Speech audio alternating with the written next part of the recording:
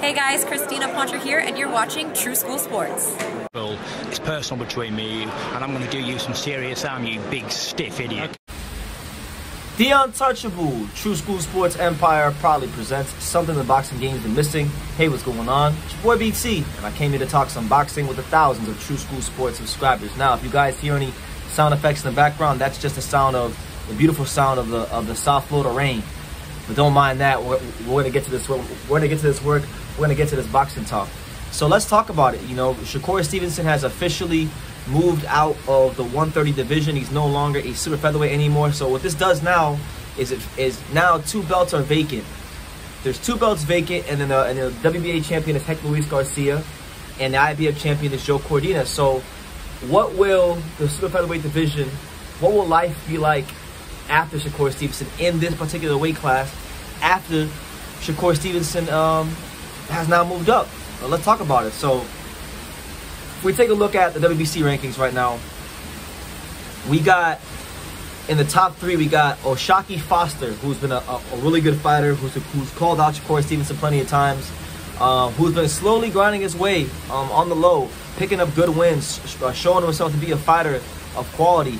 You know, he's worked his way up to the number one uh, ranking position in the WBC, and um, I'm looking at him getting a title shot. You know, O'Shaquie Foster's 19 and two. Uh, he's beating guys like Miguel Roman and Alberto Mercado. I, I watched both those fights on uh, Ring City USA when he fought there. That's that's how I found out who he was.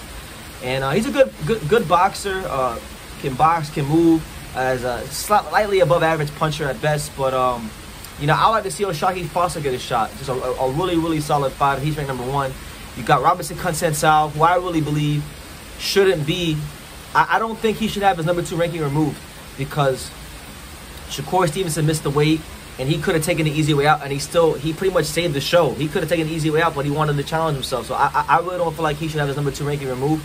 But that's just me. But you got him at number two, and you got Oscar Valdez at three. So you got Oscar Valdez ranked number three in both of the WBC and WBO. Um, I'm looking at Oscar Valdez getting a title shot, you know, straight away. You know, he he's held the, the WBC title, so that will give him some standing with the WBC to go ahead and get an immediate title shot. Now that Shakur Stevenson isn't there, he has a high ranking on top of that. Um, he's number three in the WBO. Conceição just lost, and Conceição is number two. He like Conceição is the guy between Valdez and the number one guys in the WBO and WBC, respectively. So look at look at look for Valdez to get a shot, and then you know you got other guys in the weight class. Like You got Albert Bell, who is a guy that nobody's anxious to fight, but you know probably one of the better 30 pounders out there. So this this weight class is wide open. You know, um, Joe Cordina is coming off of a sensational win against Kenichi Ogawa, um, a career best performance where he really put it together on the night, and a lot of people are looking at him now as maybe one of the guys to take the reins and, and go dominate the division. You got him. You got Hector Luis Garcia, who's had a banner year, um, beating up on Chris Colbert, beating up on Roger Gutierrez to become champion. So, uh, 130 is a great weight class. Uh, you got other uh, fighters like Otar Eranosyan. My my favorite fighter in the weight class is Otar Eranosyan the dark horse of the division, a guy that I think should be getting a title shot soon. So life after Shakur Stevenson in this weight class is going to get a lot interesting.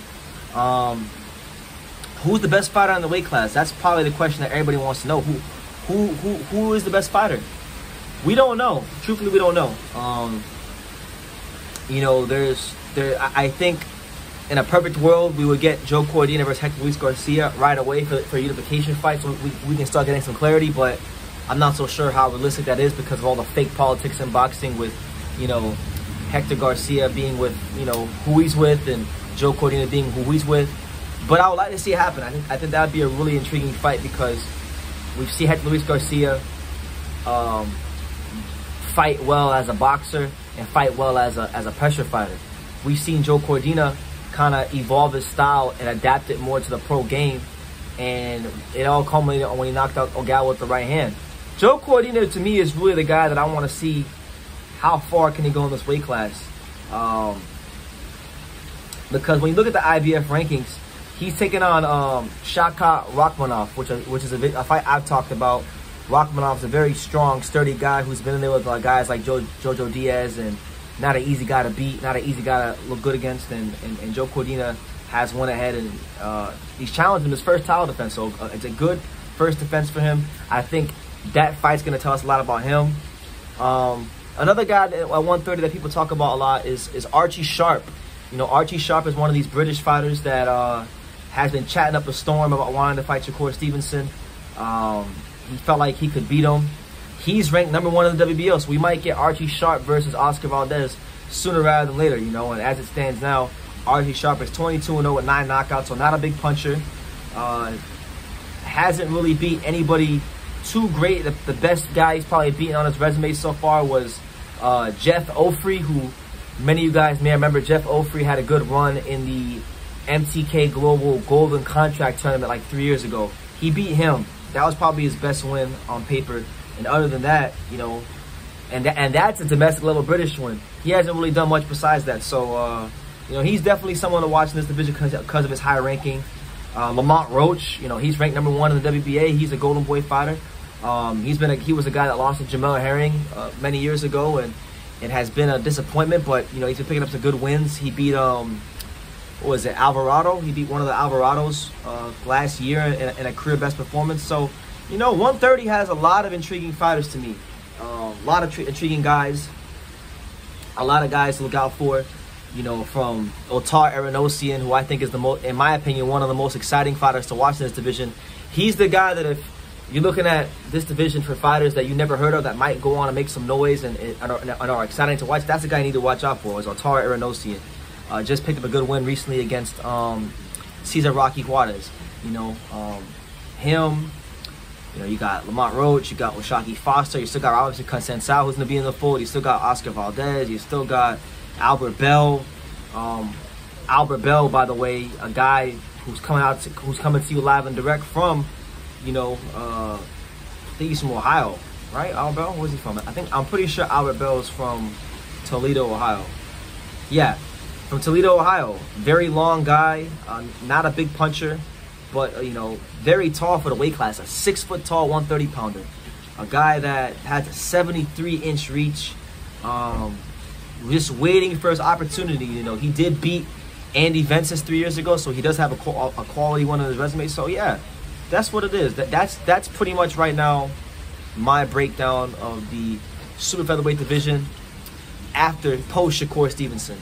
You know, there's a lot of uh, good fighters. There's a lot of good fighters with questions um, to be to be answered, and even the champions got to answer some questions. So um, definitely be following this weight class very closely as it progresses here on Tru School Sports. But let me know what you guys think. What's the fight you want to see at 130 now that Shakur Stevenson's not there? I'll, I'll tell you this. For me, the fight I want to see the most at 130 is uh, I want to see Hector Luis Garcia defend his title against the number three ranked contender Otar Eranosyan. I think that'd be a great fight because Otar fights with a swagger, a confidence. He's like um he might he reminds me a lot of Lomachenko. He's a more cockier Lomachenko.